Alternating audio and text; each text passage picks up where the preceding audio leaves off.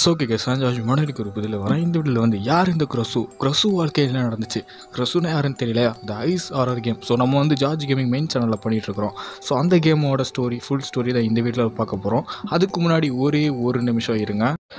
சின்ன டிஸ்க்ளைமர் ஒன்றும் இல்லை. இது வந்து ஒரு உண்மையான ஸ்டோரியோ இல்லை வந்து ரியல் இன்சிடென்ட்டோ கிடையாது. ஏன்னா ஸ்டார்டிங்கில் நான் சொல்லிக்கிறேன். ஏன்னா கிராணி வீடியோ பார்த்துட்டு நிறைய பேர் வந்து ரியல் ரியல் ரியல்னு சொல்லிட்டு இருக்கிறீங்க.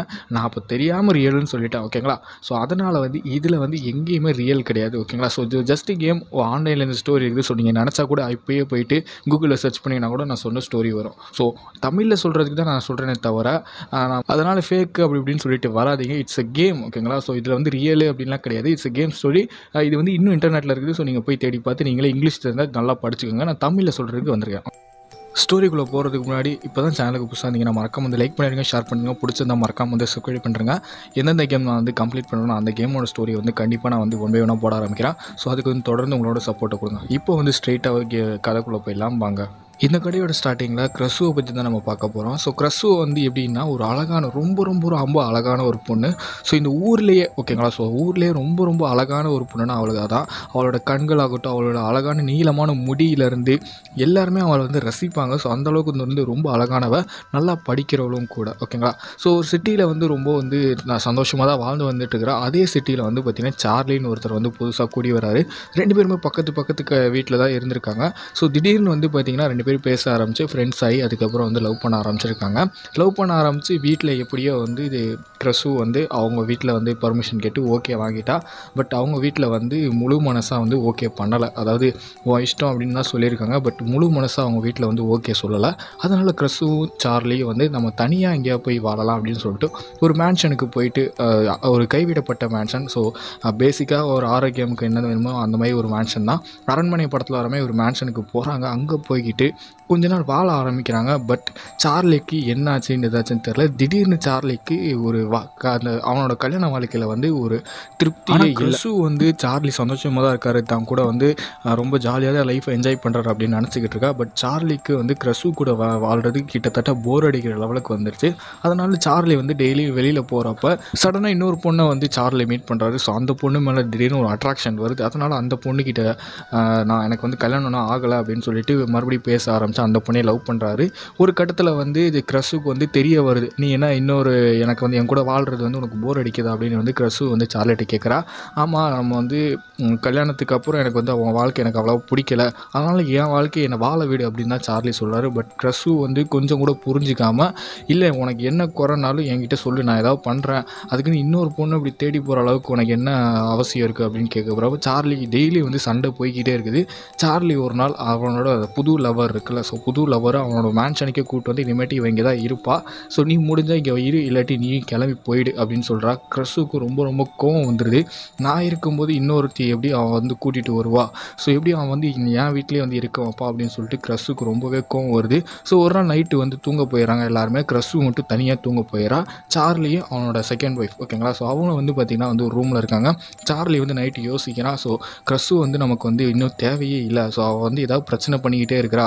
நம்ம வந்து வாழ்க்கையை நிம்மதியாக வாழ விட மாட்டா அப்படின்றதுக்காக கிரசு வந்து கொண்டுடலாம் தெரியாமல் கொண்டுடலாம் அப்படின்னு சொல்லிட்டு சார்லியும் அவனோட புது ஒய்ஃபும் பிளான் பண்ணுறாங்க ஸோ சார்லி என்ன பண்ணுறான்னா ஒரு கேஸ்லின் அதாவது ஒரு பெட்ரோல் எடுத்து கிரசு தூங்குகிற தூங்குற ரூம் ஃபுல்லாக ஊற்றி கொளுத்தி ஊட்டார் இங்கே வந்து ஒரு மேஜிக் நடக்குது. கிரசு வந்து எந்த தப்பும் பண்ணல. அதனால் வந்து ஏதோ ஒரு மேஜிக் நடந்து க்ரஸுவோட ஃபுல் பாடி வந்து பேர்ன் ஆகிடுது அதாவது எரிஞ்சிடுது எக்ஸப்ட் அவளோட ஆர்கன்ஸ் அதாவது இதயம் அது இதயம் அப்புறம் வந்து ஸ்டொமக் அதாவது குடல் ஓகேங்களா ஸோ அதெல்லாம் வந்து முடியல அவளோட தலை முழுசாக வந்து எரியாமே இருக்குது. அவளோட வாய் இருக்குது பார்த்தீங்களா ஸோ அது ஃபுல்லாகவே வந்து கிழிஞ்சிருது. ஓகேங்களா ஸோ ஆல்மோஸ்ட் வந்து ஒரு ஒரு இம்மார்ட்டல் மாதிரி ஆகிட்டா கிட்டத்தட்ட வந்து மனுஷன் ரூபத்தில் அதாவது பாதி மனுஷி பாதி பேய் அப்படி சொல்லலாம். ஓகேங்களா அவளோட ஆர்கன்ஸுக்கெலாம் உயிர் இருக்குது. ஸ்டில் அந்த ஹார்ட் வந்து துடிக்குது. அவளால் ப்ரீத் பண்ண முடியும். ஓகேங்களா ஸோ ஸ்டில் அவளால் பேச முடியும். பட் அவள் வந்து ஒரு கோஸ்ட் டைப்பில் ஆகிட்டா அது வந்து எப்படி ஒரு மேஜிக் நடந்தது? சார்லி என்ன நினச்சானா அவங்கள தான் ஒரு ஒரு தொல்லை ஒளிஞ்சுது. இனிமேட் நம்ம வந்து நம்ம வாழ்க்கையை வந்து நிம்மதியாக வாழலாம். இனிமேட்டு இவள் தொல்லையே இருக்காது. ஸோ நம்ம வந்து நம்மளோட புது ஒய்ஃப் கூட வந்து ஜாலியாக வாழலாம்னு சொல்லிட்டு அவனோட வாழ்க்கை வந்து சராசரியாக போய்கிட்டு இருக்குது. ஸோ எந்த பிரச்சனையும் இல்லாமல் ஒரு ஒரு வாரம் போச்சு. ஸோ அடுத்த வாரத்துலேருந்து க்ரஷுவோட டார்ச்சர் ஆரம்பிச்சிச்சு.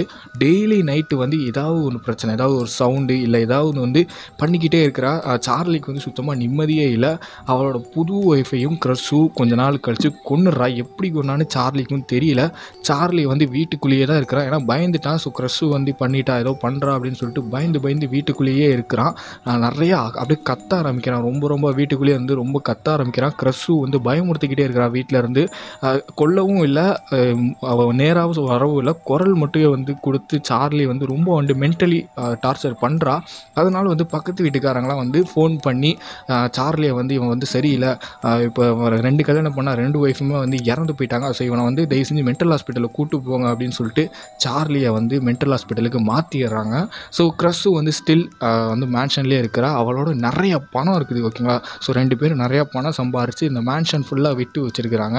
அதனால தான் வந்து இப்போ நம்ம கேம் இப்போ நம்ம ஆஸ் அ பிளேயராக நம்ம போகிறப்போ மணி பேக்ஸ் கலெக்ட் பண்ணுறோம்ல ஸோ அதெல்லாம் வந்து மணி அதாவது உண்மையான காசு அவங்க சம்பாரித்த காசு தான் நம்ம வந்து கலெக்ட் பண்ணுறோம் நம்ம வந்து இந்த கேமை எப்படி விளாட்றோன்னா நம்ம வந்து திருட நம்ம வந்து பணம் திருட போய் பேய் பார்க்குறோம். ஸோ அதுதான் வந்து கேமோட கான்செப்ட் இப்போ வந்து சார்லி வந்து மென்டல் ஹாஸ்பிட்டலில் இருக்கிறான். ஸோ மென்டல் ஹாஸ்பிட்டலில் வந்து பார்த்திங்கன்னா அவனும் வந்து கோஸ்ட்டாக மாறிடுறான். அது வந்து நம்ம சார்லி ஸ்டோரி அப்போ பார்க்கலாம். ஸோ இதுதான் வந்து க்ரஸ்ஸோட பேசிக்கான ஸ்டோரி ஸோ நான் கேம் வந்து கம்ப்ளீட் பண்ணேன் சாப்டர் ஒனில் வந்து க்ரஸ்ஸுவோட சாப்டர் வருது ஓகேங்களா ஸோ அதனால தான் வந்து நான் கேம் கம்ப்ளீட் பண்ணனால தான் இந்த ஸ்டோரியை நான் போட்டேன். நிறைய பேர் கேட்டுகிட்டே இருந்தீங்க அதனால தான் போட்டேன். ஸோ இந்த வீடியோ எப்படி இருக்குன்னு சொல்லிட்டு மறக்காம வந்து கமெண்ட் பண்ணுங்கள் இது உண்மையான ஸ்டோரி கிடையாது.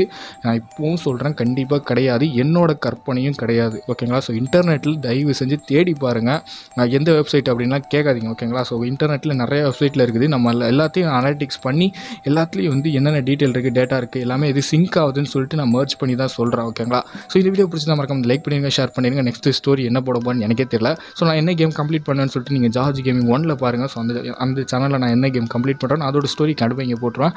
ஸோ இந்த வீடியோ ஃபுல்லாக பார்த்ததுக்கு ரொம்ப ரொம்ப நன்றி. ஸோ தேங்க்ஸ் ஃபார் வாட்சிங் உங்களை இன்னொரு வீடியோவில் வந்து பார்க்குறேன். தேங்க்ஸ் ஃபார் வாட்சிங் பை கைஸ் பை